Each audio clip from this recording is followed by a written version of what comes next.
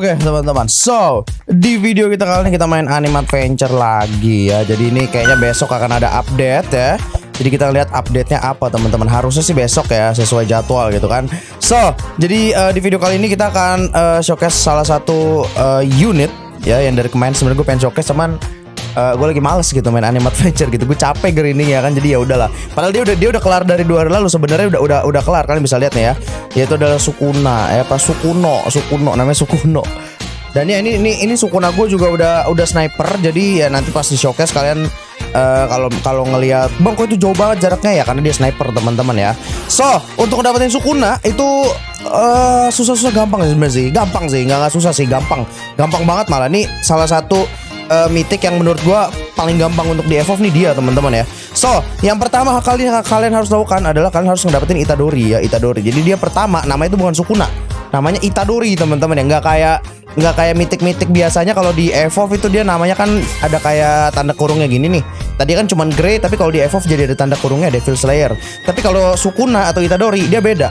Jadi kalau uh, Itadori dia nama pertama itu Itador Ita Ikadori siapa lah pokoknya pokoknya nama awalnya bukan Sukuno, bukan Sukuna teman-teman ya. Jadi Itadori nama awalnya. Jadi kalian kalian gacha dulu Itadori dari sini mitik biasa. Lalu habis itu kalian mesti main Infinite ya. Kan harus ngedapetin yang namanya Key Cursed Womb teman-teman ya. Ini kalian mesti dapetin ini ya. Uh, kalian kalau udah dapat itu kalian main dari Infinite teman-teman ya itu itu lang nggak langka-langka banget sih. Gue aja dapat sampai 30 gitu kan banyak gitu. Jadi jadi kalau kalian udah dapat itu kalian kalian ke sini aja nih Kursum itu. Ini gampang banget kok. Kursum nih kayaknya kalian solo juga bisa deh. Dia kayaknya kalau menurut gue ya dia setara sama story sih. Setara sama story yang Curse yang mungkin yang kelima gitu ya setara setara. Jadi nggak begitu susah kok. Kalian pakai aja unit yang biasa kalian pakai untuk story. Gue yakin kalian solo pun bisa teman-teman ya. Nah kalau kalian udah masuk ke kursum kalau kalian berhasil mengalahkan semuanya di situ ya kalian berhasil kelarin stage-nya kalian akan dapat yang namanya curse finger ya. Bukan yang ini ini ini ini ini adalah curse finger indestructible. Ini ini kalian dapat setelah kalian dapat curse finger biasa lalu kalian use. Jadi kalau kalian dapat curse finger yang biasa kalian use aja nggak apa-apa jangan takut hilang karena emang nggak hilang kok kalian use ntar kalian akan masuk ke dunianya Sukuno. Nah ini nih ke dunianya Sukuna gini ya. Jadi kalian tinggal datang aja, kalian ngomong sama si Sukuna, lalu kalian evolve. Gue masih ada masih ada videonya sih. Ini gua gua kasih unjuk aja lah ya.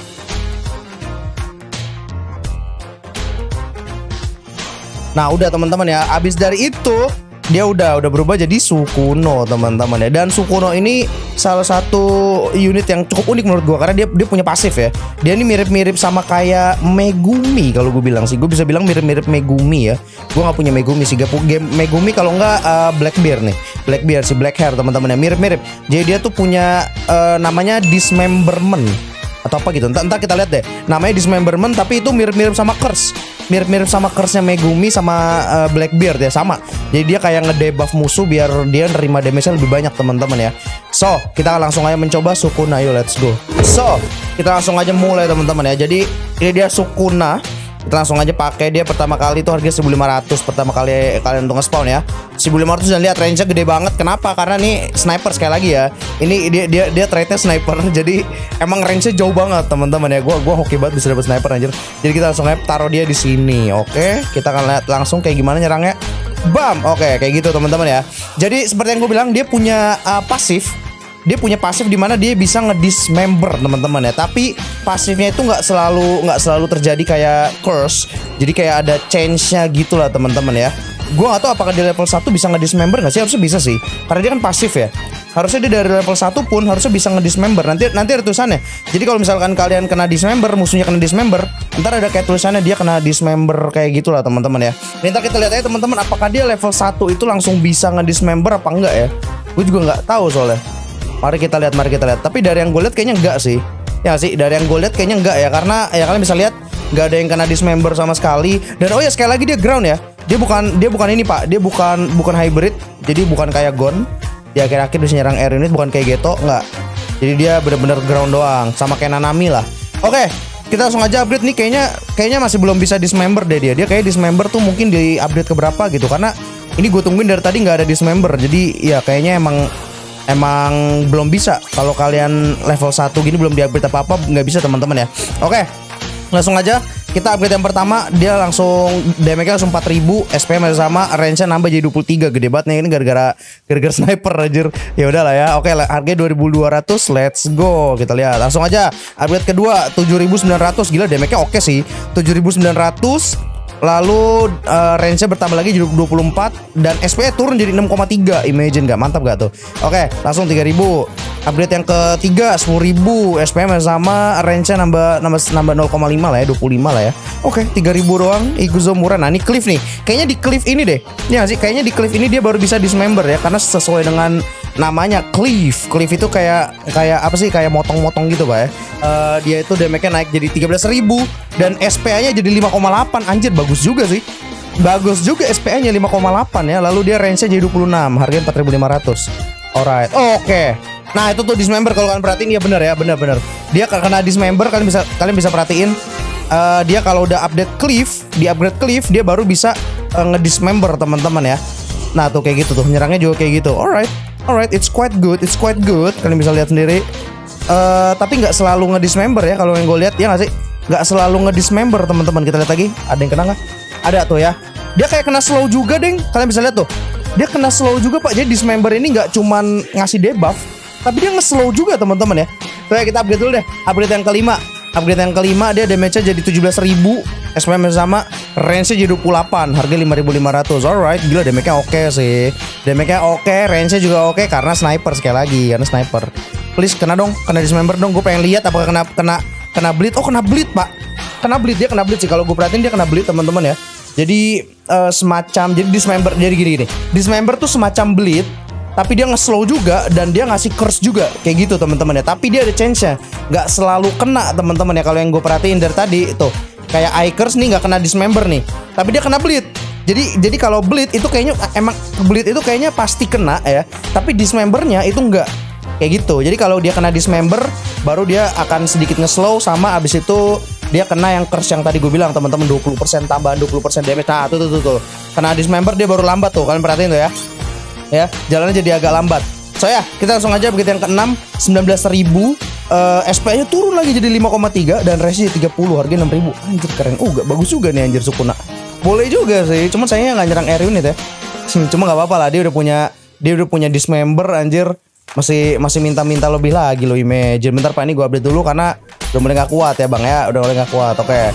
yuk kita langsung aja update lagi uh, kita upgrade yang ke-6 teman-teman. Eh upgrade ke-7 sorry. Upgrade ke-7 damage-nya 21.000 SPM yang sama range nambah 1 jadi 3, 31 teman-teman ya. Harga 8.500 alright.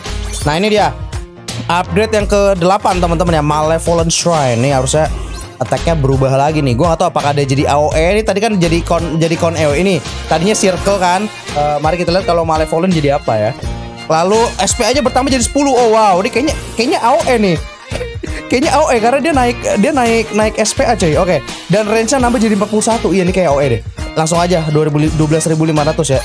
Jadi apa deh? Oh enggak enggak enggak, enggak. Circle AOE right. Oke. Okay. Uh eh, gila keren banget, Pak. Nyerangnya berkali-kali ini bagus banget buat shield ini. Kita lihat nih ya shield ya. Kita ngeliat shield apakah shieldnya akan hancur begitu kena malevolent. Ya bener Ini bagus banget buat ngabisin shield Dapat dismember juga Wah ini bagus banget sih Menggantikan si Gildart ya Untuk ngancurin shield ya Dang, ini bagus teman-teman ya.